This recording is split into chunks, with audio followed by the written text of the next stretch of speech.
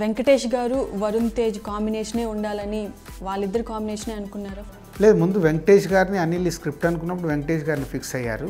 తర్వాత యంగ్ హీరోస్లల్లో ఆప్షన్స్ అనుకున్నాము. బట్ ఎప్పుడో ఒకసారి మా ఇద్దరి మధ్యలో కాన్వర్సేషన్ వచ్చినప్పుడు ఇట్లా తెలంగాణ స్లాంగ్ అంటే నాకు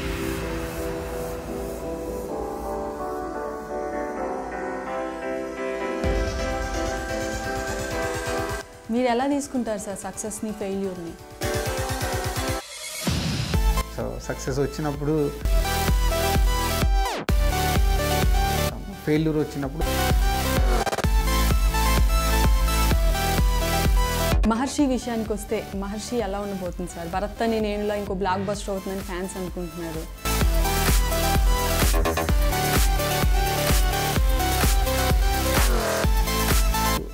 కష్టపడి ఈ స్క్రిప్ట్ని రెడీ చేసుకున్నాడు.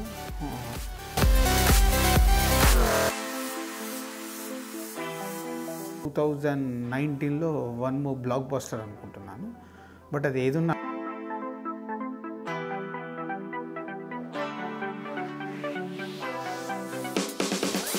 ఆంధ్రుల ఆరాధ్యుడు ఎన్టీఆర్ గారికి ఈ భారతరత్న ఇవ్వకపోవడంపై మీ కామెంట్ ఏంటి? అంత డెప్త్ అనాలిసిస్.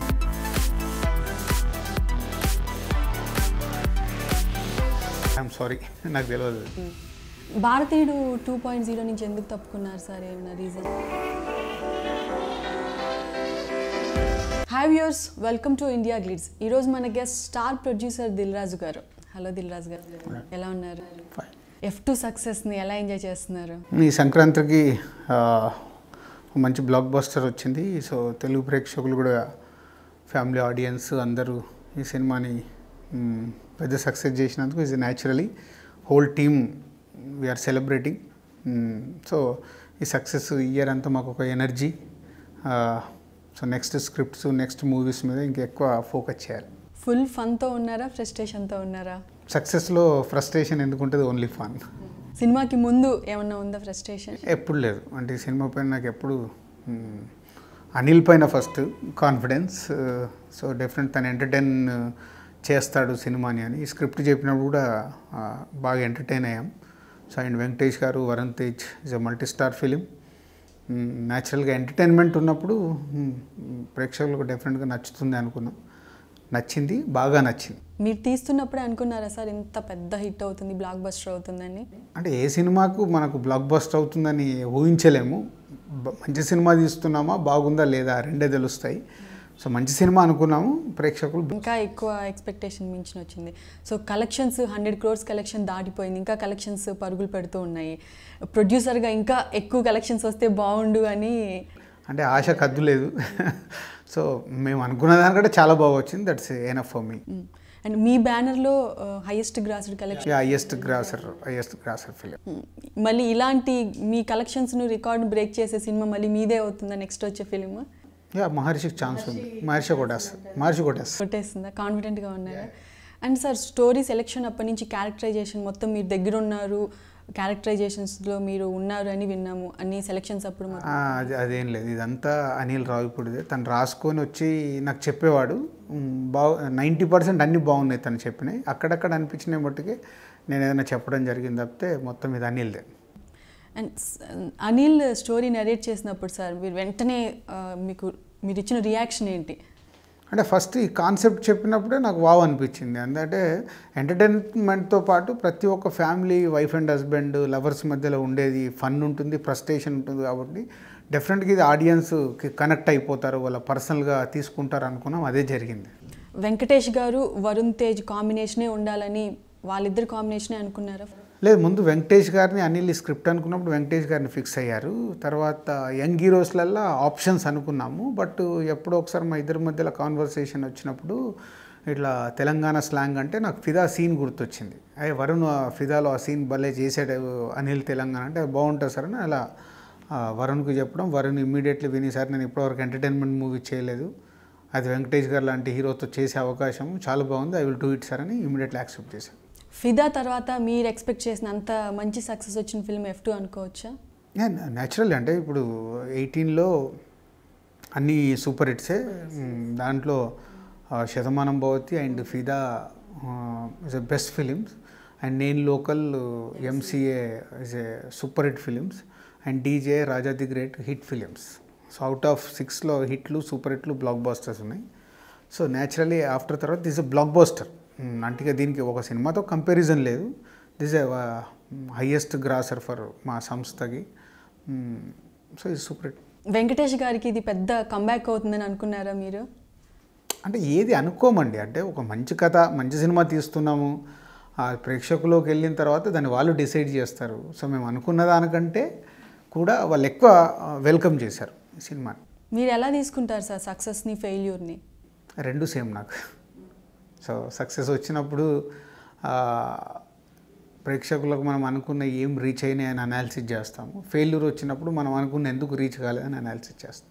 వరుణ్ క్యారెక్టర్ విషయానికి వస్తే సార్ ఆ తెలంగాణ స్లాంగ్ అది బాగా యాప్ట్ అయ్యి వరుణ్లో ఇంత కామెడీ యాంగిల్ ఉందని ఇప్పుడే తెలిసింది ఇంతకుముందు చేసిన సినిమాలన్నీ కొంచెం సీరియస్ క్యారెక్టర్స్ ఉన్నాయి కదా.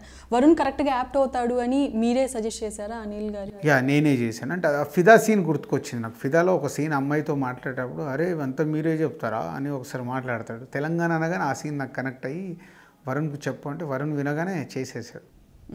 అండ్ లాస్ట్ ఇయర్ విషయానికి వస్తే వరుసగా six films back to back hits వచ్చాయి. ఇన్ ఎట్లా అంటే ఒకే ఇయర్లో అన్ని సినిమాలు తీయడము చాలా ఇంపాసిబుల్ కదా మీరు ఇంపాసిబుల్ని పాసిబుల్ చేసి చూపించారు. అంటే ఇట్స్ హ్యాపెండ్ అని ఇప్పుడు ఏది సినిమా ఫీల్డ్లో అనుకుంటే జరుగుతాయని అది జరగదు. సో ఇట్స్ హ్యాపెండ్ మా వర్క్ చేశాము. సో వన్ బై వన్ అలా సక్సెస్లు వస్తున్న కొద్దీ లాస్ట్ సినిమాలు ఇంకా ఫోకస్ చేశాము. సో టీం అందరూ ఎంత పెద్ద టీం ఉంది కాబట్టి నా నా వ్యూస్ని వాళ్ళందరూ అర్థం చేసుకుని ఎవ్రీ వన్ ఫోకస్ చేసి చేశారు సక్సెస్లు వచ్చాయి సంక్రాంతి సినిమాలకు వచ్చిన మీ సినిమాలు చాలా వరకు సక్సెస్ అయ్యాయి. అదే ఫార్ములాని ఇక్కడ కూడా ఫాలో అప్ చేశారు. ఇక్కడ కూడా మంచి హిట్ వచ్చింది ఎఫ్ టూ సో సంక్రాంతికి కాకుండా ఉంటే ఇంత హిట్ వచ్చేది? అంటే ఇప్పుడు సంక్రాంతికి బోనస్ టెన్ పర్సెంట్ ఎక్కువ ఉండొచ్చు. మంచి సినిమా ఎప్పుడు ఆడుద్ది. బాగలేని సినిమా సంక్రాంతికి కూడా ఆడదు మిగతా వచ్చిన రిలీజ్ అయిన సినిమాలు నెగిటివ్ టాక్ రావడం దీనికి ఎఫ్ టూకి ఒక అడ్వాంటేజ్ అనుకోవచ్చా? అంటే అది ఎప్పుడూ ఉంటుందండి. ఒక్కసారి అని కాదు. ఇప్పుడు మీకు ఎప్పుడు రిలీజ్ అయినా రెండు మూడు సినిమాలు రిలీజ్ అవ్వచ్చు. అవుతే ఏంది మంచి సినిమానే కదా ప్రేక్షకులు చూస్తారు. బాగాలేకుంటే ఎందుకు చూస్తారు?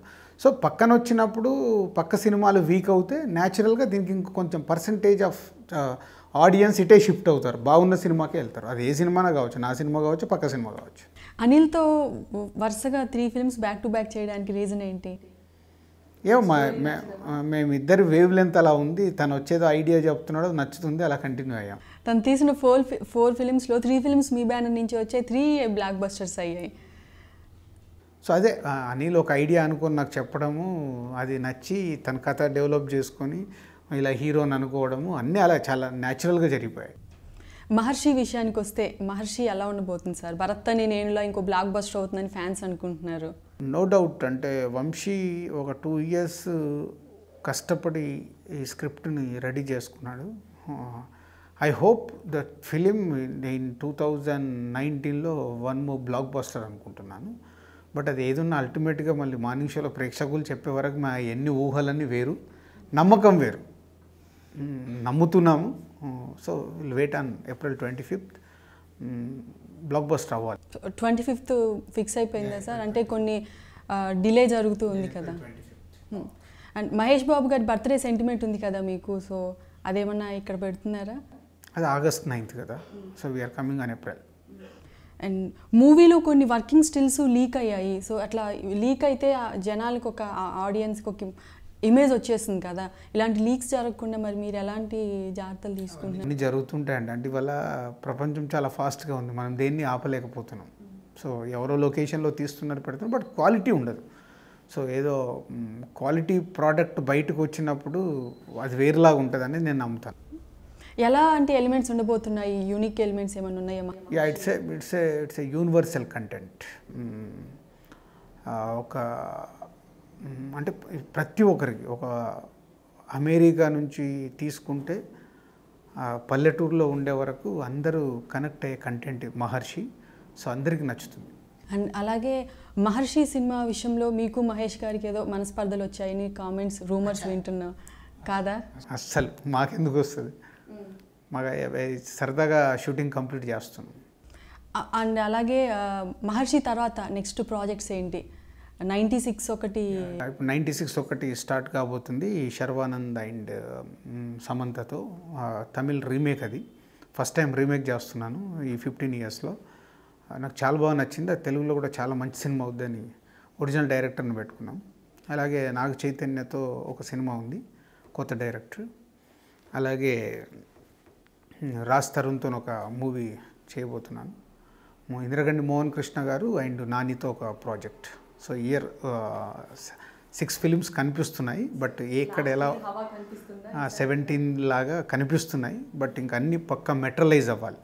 అంటే స్క్రిప్ట్స్ అన్ని పక్క లాక్ అవ్వాలి లాక్ అయ్యాక టేక్ ఆఫ్ చేస్తాం.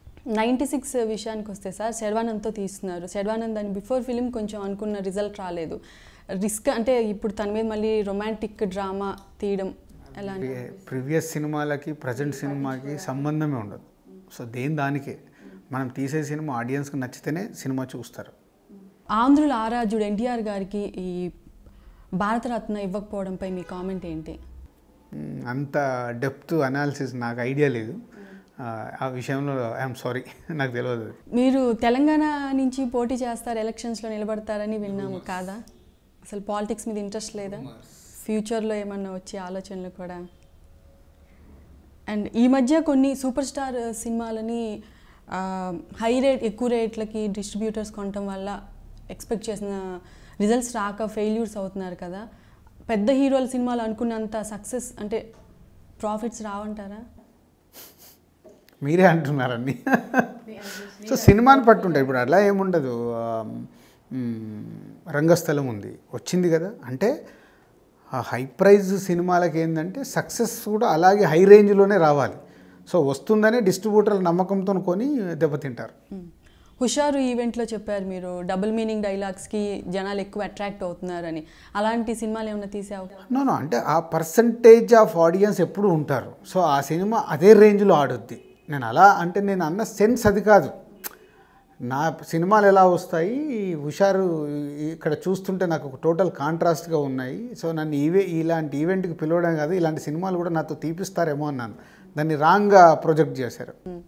భారతీయుడు టూ పాయింట్ జీరో నుంచి ఎందుకు తప్పుకున్నారు సార్? ఏమైనా రీజన్ కొన్ని అండర్స్టాండింగ్స్ కుదరకపోవడం. ఓకే. అండ్ పవన్ కళ్యాణ్ గారితో మీరు ఎప్పటి నుంచో ప్రాజెక్ట్ చేయాలనుకుంటున్నారు. మెగా హీరోలు అందరితో చేశారు. పవన్ కళ్యాణ్ గారిని ఒక్కరినే మిస్ అయింది. మళ్ళీ ఎక్స్పెక్ట్ చేయొచ్చా మీ నుంచి మీ ఏమో మళ్ళీ కళ్యాణ్ గారు ఇటు వచ్చి యాక్టింగ్కి వస్తే డెఫినెట్గా ప్రయత్నం చేస్తూనే ఉంటాను. సో శ్రీనివాస కళ్యాణం చాలా కంటెంట్ ఓరియంటెడ్ ఫిలిం పెళ్ళి సబ్జెక్ట్ తీసుకొని బాగా చూపించారు కానీ ఎందుకు అనుకున్నంత జనాల దగ్గరికి రీచ్ కాకపోవడానికి? తర్వాత అనాలిసిస్ చేస్తే ఫార్టీ ప్లస్ వాళ్ళందరికీ సినిమా చాలా బాగా నచ్చింది. బిలో ఫార్టీ ఏజ్ ఉన్న వాళ్ళకి నచ్చలా. నచ్చలేదంటే ఇప్పుడు ఈ రోజుల్లో ఇవన్నీ నిజమే. ఈ రోజుల్లో ఇవన్నీ ఎవరు పట్టించుకుంటారు? ఇలా పద్ధతిగా చేసుకోవాలి ఇలా చేసుకోవాలి ఇవన్నీ ప్రాక్టికల్గా జరగవు కదా అని వాళ్ళు రిజెక్ట్ చేశారు. అది మాకు అర్థమయ్యే వరకు లేట్ అయిపోయింది. టూ పాయింట్ జీరో సినిమాకి కొంచెం లాస్ వచ్చింది అని విన్నాము. నిజమేనా? అవన్నీ is a part of the business Dil Raju గారు అంటేనే జడ్జిమెంట్ పర్ఫెక్ట్ ప్లానింగ్ ఉంటుంది మూవీ సెలక్షన్ అప్పుడు అంటారు. అలాంటి మీకు కూడా కొన్ని ఫెయిల్యూర్స్ వచ్చాయి. ఎందుకు జరుగుతుంది అంటారు దిల్ రాజు అంటే కూడా మనిషే కదా దేవుడు కాదు కదా. సో సక్సెస్లు వస్తాయి. సో ఫెయిల్యూర్లు అంటే ఆ, అనుకునే అన్ని జనాలకు రీచ్ కావాలని లేదు. మనం ఆ కంటెంట్ మనం టేకాఫ్ చేసినప్పుడు ఉండే మూడుకి సినిమా రిలీజ్ అయ్యే వచ్చే టయానికి గ్యాప్ ఉంటుంది. మూడు మారిపోతే మిస్ అయిపోద్ది. మనం ప్రాపర్గా దాన్ని ఏ వేలో చెప్పాము అది వాళ్ళకి రీచ్ అయిందా లేదా? ఇప్పుడు శ్రీనివాస కళ్యాణమే. మేము చెప్పాలనుకున్నది అదే దాన్ని ఇలేరీస్గా పెళ్ళి సందర్లాగా ఎంటర్టైన్మెంట్లో చెప్పుంటే ఆడేసేది సో మేము ఏదో సిన్సియర్గా చెప్దామని ట్రై చేసాం. సిన్సియర్గా చెప్పాల్సింది కాదు. కానీ ఇప్పుడున్న ప్రొడ్యూసర్లో మీకున్న సక్సెస్ రేషియో చూస్తే చాలా తక్కువ. మీతో మీ కాంపిటీషన్ వచ్చే వాళ్ళు కూడా ఎవరూ లేరు. ఎలా స్టార్టింగ్స్ ఫస్ట్ సినిమా నుంచి మ్యాక్సిమం ఎక్కువ మోర్ దాన్ సక్సెస్లే రావడానికి మీ డెడికేషన్ డిటర్మినేషన్ ఎలా ఉంటుంది మూవీస్ పట్ల ఎంతసేపు సినిమానే నాకు. ఆ సినిమా ఒక కథ అనుకున్న దగ్గర నుంచి రిలీజ్ వరకు అది ఎందుకు ఆడుతుంది అని నేనే వందసార్లు క్వశ్చన్ చేసుకుంటాను. సో ఎందుకు ఆడాలి? ఎందుకు ఆడుతుంది? ఎందుకు ఆడాలి? నా దగ్గరనే ఆ స్ట్రగుల్ ఉంటుంది. సో దానికి ఎక్కువ వర్క్ చేస్తాం. చాలామంది ఇండస్ట్రీకి వచ్చే ప్రొడ్యూసర్ ప్రొడ్యూసర్స్ ఒక దిల్ రాజు గారిలా అవ్వాలి దిల్ రాజు గారి ఇన్స్పిరేషన్గా తీసుకొని వస్తారు. మీరు మీరు వచ్చేటప్పుడు అలా ఎవరిని ఎవరిని తీసుకొని వచ్చారు? యా చాలామంది నాకు అప్పుడు ఒక ఏఎం రత్నం గారు ఒక దేవి వరప్రసాద్ గారు ఒక రామానాయుడు గారు ఒక అల్లు అరవింద్ గారు ఎంతోమంది బిగ్ ప్రొడ్యూసర్స్ వాళ్ళు తీస్తున్న సినిమాలు ఏంటి వాళ్ళు ఎలా ఫోకస్ చేస్తారు ఎలా చేస్తారు అందరినీ నేను చూసే చూసే. సో నా స్టైల్ ఏంటి నా స్టైల్ ఒకటి అనేది ఏర్పరచుకొని ఒక కొత్త డైరెక్టర్లతో వెళ్దాము. సో కొత్త డైరెక్టర్లను పట్టుకొని మనం పక్కా స్క్రిప్ట్ చేసుకొని వెళ్దాము. అంటే డిస్ట్రిబ్యూటర్గా నేను ఉన్న నాకు ఆ ఎక్స్పీరియన్స్ అవన్నీ హెల్ప్ అయ్యాయి. అవన్నీ చేసుకుంటూ స్టార్ట్ అయ్యాయి. ఎక్కువగా మీ బ్యానర్లోని ఎంతోమంది డెబ్యూ డైరెక్టర్స్ ఇండస్ట్రీకి వచ్చారు. ఇప్పుడు వాళ్ళు చాలా స్టార్ డైరెక్టర్స్ అయ్యారు. ఒకప్పుడు అలా రామానాయుడు గారు సురే సురేష్ ప్రొడక్షన్స్ నుంచి వచ్చేవాళ్ళు. తర్వాత మిమ్మల్ని మీ బ్యానర్లోనే వచ్చారు. ఎందుకు ఎప్పుడు కొత్త వాళ్ళని ఎంకరేజ్ చేయాలనే ఇది ప్యాషన్ మీకు? అంటే కొత్త వాళ్ళంటే రెండు అంటే వాళ్ళు ఏదన్నా ఫ్రెష్గా ఆలోచించుకొని రాగలుగుతారు ఒక పాయింట్ అవుతే ఒక వన్ ఇయర్ అయినా వాళ్ళు పేషెన్స్గా స్క్రిప్ట్ రెడీ చేయడానికి టైం ఇస్తారు. అది ఒక సక్సెస్ఫుల్ డైరెక్టర్ అయిన తర్వాత ఒక స్క్రిప్ట్ మీద వాళ్ళకొక అంచనాలు ఉంటాయి వాళ్ళ స్టైల్లో వాళ్ళు చేస్తారు. సో ఆ- వేరియేషన్ ఉంటుంది. కొత్త వాళ్ళు ఎప్పుడు టైం స్పెండ్ చేయగలుగుతారు. వరుణ్ ఆ, సాయి తేజ్తో ఇంతకుముందు సినిమాలు చేశారు ఈ మధ్య మళ్ళీ ఎక్కువ ఏం చేయలేదు. సో ఫ్లాప్ కొంచెం సాయి ధర్మ తేజ్ ఈ మధ్య ఫ్లాప్స్లో ఉన్నాడు. మళ్ళీ ఏమన్నా ఆయనతో ఫిల్మ్ చేసే అవకాశం ఉంది? తేజు వెరీ క్లోజ్ నాకు ఫ్యామిలీ పర్సన్ uh, ఎప్పుడు నాకు ఏ స్క్రిప్ట్ తేజుకు బాగుంటుందన్నా ఫస్ట్ ఫోన్ చేసి చెప్తాను. తేజు ఇది బాగుంది విను అని. సో సక్సెస్ ఫెయిల్యూర్స్ తన జీరోకెళ్ళి జీరోకి వెళ్ళి తన హీరో అయినప్పుడే కంటిన్యూగా సినిమాలు తీశాను. నాకు సక్సెస్ ఫెయిల్యూర్స్తో సంబంధం లేదు. ఆ కంటెంట్ తనకు బాగుంటుందంటే ఫస్ట్ తనకే బాగుంటుంది. పెద్ద బడ్జెట్ సినిమాలు చేయటం తగ్గించాలని ఏమన్నా అనుకుంటున్నారా? ఏముండదు. ఆల్ ఆల్ లాంగ్వేజ్కి వెళ్ళే సినిమా చేద్దామని ప్లానింగ్లో ఉన్నాను. సో ఏమన్నా పెద్ద హై బడ్జెట్ సినిమాలు చేసి లాస్ వచ్చినప్పుడు మళ్ళీ అదే ఫార్ములా ఫాలో అవ్వడానికి భయపడతారా సార్? లేదు మళ్ళీ డేర్గా అదే స్టెప్ తీసుకుంటారా?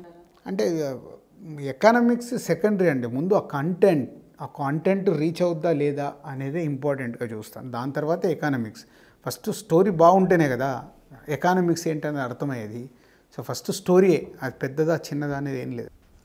చిన్న సినిమా రిలీజ్ విషయంలో జరుగుతున్న ఈ వివాదం ఏంటి సార్? ఎప్పటి నుంచో ఇది జరుగుతూ ఉంది. ఇండస్ట్రీలో ఎప్పుడు నలుగురు చేతిలో ఉంటాయి థియేటర్స్ అని. దీని మీద మీ కామెంట్ ఏంటి? ఆల్రెడీ చెప్పాను కదా దాని గురించి మళ్ళీ మళ్ళీ మాట్లాడడం కూడా నాకు ఇష్టం లేదు. సో సినిమా ప్రేక్షకులకు నచ్చే సినిమాని మనం ప్రాపర్గా రెడీ చేసి ప్రాపర్గా అప్రోచ్ అయ్యి ఆ రిలీజ్ డేట్ నాలుగు సినిమాలు ఉన్నప్పుడు పెట్టుకోకుండా మీరు జాగ్రత్తగా డిజైన్ చేసుకుంటే ఎన్ని సినిమాలకన్నా ఛాన్స్ ఉంది. సో మనం అదే పెద్ద సినిమాలు వస్తున్నప్పుడే మాకు థియేటర్లు కావాలి పెద్ద సినిమా వస్తున్నప్పుడే మా సినిమా రిలీజ్ కావాలనడం తప్పు. క్లాష్. క్లాష్ పెట్టుకోకుండా జాగ్రత్తగా ప్లాన్ చేసుకుంటే ఫిఫ్టీ సిక్స్ వీక్స్ ఉన్నాయి అక్కడ. సో అందరికీ పండగ డేటే కావాలి అందరికీ దసరా డేట్ కావాలంటే కష్టం కదా. అండ్ రీసెంట్గా ఒక ప్రొడ్యూసర్ కూడా ఇదే కామెంట్స్ చేశారు మీ మీద ఎలిగేషన్స్ పెట్టినప్పుడు. మీరు ఎక్కువ రూమర్ కామెంట్స్ మీద ఎక్కువ ఎప్పుడు మీ మీద వచ్చే కామెంట్స్కి మీరు ఎందుకు సార్ రియాక్ట్ అవ్వరు ఎక్కువ? అంటే అవి కామెంట్స్ అని మీరే అంటున్నారు కదా రూమర్స్ అని మీరే అంటున్నారు. అవిటి మీద రియాక్ట్ అవ్వడం వల్ల ఉపయోగం ఏంటి? రియాక్ట్ అయితే జనాలకు తెలుస్తుంది కదా. జనాలకు తెలుసు. జనాలకు తెలుసు కదా. ఇప్పుడు నేను ఎగ్జాంపుల్ మొన్న చెప్పాను. మూడు సినిమాలతో పాటు వస్తూ సింపుల్గా చెప్పాను. ఏమాత్రము ఆలోచించే ప్రతి ఒక్కరు ఆలోచించారు. కరెక్టే కదా. తెలుగు సినిమాల్ని కాదని ఒక పక్క తమిళ సినిమా నుంచి వస్తుంటే థియేటర్లు ఎందుకు ఇస్తారు? తెలుగు సినిమాలు ఆరు నెలల క్రితం ఫైనల్ అయినాయి డేట్స్ సో వాళ్ళు టూ వీక్స్ ముందు వచ్చేసి థియేటర్లు కావాలంటే దొరకవు కదా. ఇప్పుడు వాళ్ళే రేపు ఏదైనా సినిమా రిలీజ్ చేశారు సోలో డేట్ ఉంది వాళ్ళే అన్ని థియేటర్లు వేసుకుంటారు. సో ఆటోమేటిక్ జరిగేదే మళ్ళీ. వాళ్ళకే అర్థమవుద్ది. అప్పుడు మాట్లాడారు వాళ్ళు. సో వాళ్ళకి ఎప్పుడు థియేటర్లు ఎప్పుడైతే క్లాష్ ఉన్నాయో నంబర్ ఆఫ్ మూవీస్ ఉన్నాయో అప్పుడు థియేటర్లు దొరకట్లేదని గోల ఉంటుంది తప్పితే వాళ్ళు ప్రాపర్గా ఇప్పుడు ఫిబ్రవరి మార్చ్ అంతా ఎడారి థియేటర్ వాళ్ళకి. సినిమా లేదు. ఖాళీగా ఉన్నాయి మరి. ఇప్పుడు వేసుకోవచ్చుగా? అందరికి అదే డేట్ కావాలంటేనే టఫ్ సార్ దిల్ కంటే ముందు అమృత మూవీ డబ్ చేశారు. ఆ మూవీ మణిరత్నం గారి మీద ఇంట్రెస్ట్ ఆయన సినిమాల మీద ప్యాషన్తో చేశానని అప్పట్లో మీరు ఇంటర్వ్యూస్లో చెప్తే విన్నాను. అప్పుడు ఆ రిజల్ట్ ఎలా అనిపించింది సార్? మళ్ళీ నెక్స్ట్ మూవీ తీస్తే ఎలా ఉంటుంది? ఇది హిట్ అవుతుందా లేదా? అన్న భయముతో తీసారా? సెక్ దిల్ కాన్ఫిడెంట్తో తీసారా? ఎలా తీశారు నేను ఎప్పుడు కాన్ఫిడెంటే కాన్ఫిడెంట్ లేకుంటే ట్వంటీ ఇయర్స్ నుంచి నేను ఇక్కడ ఉండలేను. సక్సెస్ ఫెయిల్ నాకు పెద్ద సమస్య కాదు. సార్ అన్ఫార్చునేట్గా మీ లైఫ్లో మీ వైఫ్ మిస్ అయిన తర్వాత కూడా మీరు దాని నుంచి ఓవర్కమ్ అయ్యి మళ్ళీ సినిమాల్లో ఇంత సక్సెస్ ఎట్లా పాసిబుల్ సార్ మీకు? అదే ఇందా ఫస్ట్ స్టార్టింగ్ చెప్పాను ఇంపాసిబుల్ని కూడా పాసిబుల్ చేశారు అని. రియల్ లైఫ్లో అలానే జరిగింది ఇక్కడ రియల్ లైఫ్ ప్రొఫెషనల్గా కూడా. మీ సక్సెస్ ఫార్ములా అంటే మేబీ నా చుట్టూ ఉన్న నా యాంబియన్స్ నా ఫ్యామిలీ మై పార్ట్నర్స్ నా ఫ్రెండ్స్ అందరు ఉన్నారు కదా. సో మేబీ ఆ ఎనర్జీ ఇవ్వడం వల్లే మళ్ళీ ఫార్వర్డ్ వచ్చేసాను. పవన్ కళ్యాణ్ గారు ఇప్పుడు సినిమాలు చేయట్లేదు పాలిటిక్స్ వెళ్ళిపోయారు. పవన్ కళ్యాణ్ గారు కాకుండా ఆయన ప్లేస్ని రీప్లేస్ చేసే సత్తా ఇప్పుడున్న హీరోస్లో ఎవరికి ఉందంటారు? అలా ఏముండదు అంటే ఎవరిది వాళ్ళకే. ఒక కంపారిజన్గా వాళ్ళ ప్లేస్ వీళ్ళకి వస్తుంది వీళ్ళ ప్లేస్ వాళ్ళకు. ఎప్పుడు ఈ ప్లేస్లు అనేటివి మారుతూ ఉంటాయి. వాళ్ళు తీసే సినిమాల మీద. ఇప్పుడు ప్రభాస్ బాహుబలి తీసి is a all India hero అయిపోయాడు. సో ప్రభాస్కి ఇవ్వాలి మనం ప్లేస్ ఇవ్వలేం కదా. తన మార్కెట్ మారిపోయింది. తను ఆల్ ఇండియాకు హీరోగా వెళ్ళిపోయాడు. నెక్స్ట్ సినిమాలు కూడా అలాగే ఉంటే is a Prabhas all India hero అయిపోయాడు. సో ఒక ఎవరి ప్లేసులు మారవు. ఎవరి వర్కింగ్ స్టైల్ వాళ్ళది. సినిమా టు సినిమా మారిపోతుంటుంది. సక్సెస్ ఫెయిల్యూర్ వస్తూ ఉంటుంది. ఒక హీరో ఒక సినిమా లీడ్ చేస్తే ఒక హీరో వెనకాల ఉంటాడు. ఈ హీరో సినిమా నెక్స్ట్ లీడ్ చేస్తే ఆ హీరో ముందుకెళ్తాడు. అది ఆ- ఆ ఐదుగురు ఆరుగురు మధ్యలో ఉండేది ఎప్పుడు ఇది జస్ట్ క్రాస్ అవుతూనే ఉంటారు. మీరు ఎక్కువ హీరోయిన్తో ఇంటరాక్ట్ అవ్వరు అని వింటుంటాము. సార్ ఎందుకు నా పని నేను చేసుకుంటాను అంటే హీరోయిన్స్ ఎప్పుడైనా మీతో వాళ్ళని అడిగినా కూడా మీరు ఎక్కువ రెస్పాండ్ అవ్వరని ఒకసారి ఇంటర్వ్యూ మీరు ఏదో కాన్వర్జేషన్ ఇంటర్వ్యూలో కూడా అట్లా అలా ఏమి ఉండదు. ఇప్పుడు అంటే మీట్ అంటే ఇప్పుడు అఫీషియల్ మీట్స్ ఏదున్నా మన ఆఫీస్లో కానివ్వండి షూటింగ్లో కానివ్వండి మేము కలుస్తూనే ఉంటాం. సో వాళ్ళతో ఎంత యాక్సెస్ ఉండాలో అంతే ఉంటాను ఓవర్ క్లోజ్గా అవ్వను. So all the best sir and next వచ్చే ఫిల్మ్స్ అన్ని మహర్షి కానీ అన్ని ఫిల్మ్స్ బ్యాక్ టు బ్యాక్ మంచి హిట్స్ రావాలని ఎఫ్ టూ లాగా మంచి సక్సెస్ అందాలని. కోరుకుంటున్నాం ఆల్ ద బెస్ట్ సో ఇది స్టార్ ప్రొడ్యూసర్ దిల్ రాజు గారితో special chitchat this is Ramya signing off Hi. Hi. Hi. Hi. Hi. Hi. Hi, India Glitz viewers. For all the latest movie reviews, Interviews. Latest updates. Subscribe. Subscribe. Subscribe IG Telugu. Please subscribe to IG Telugu. Please follow IG Telugu. Please subscribe to IG Telugu.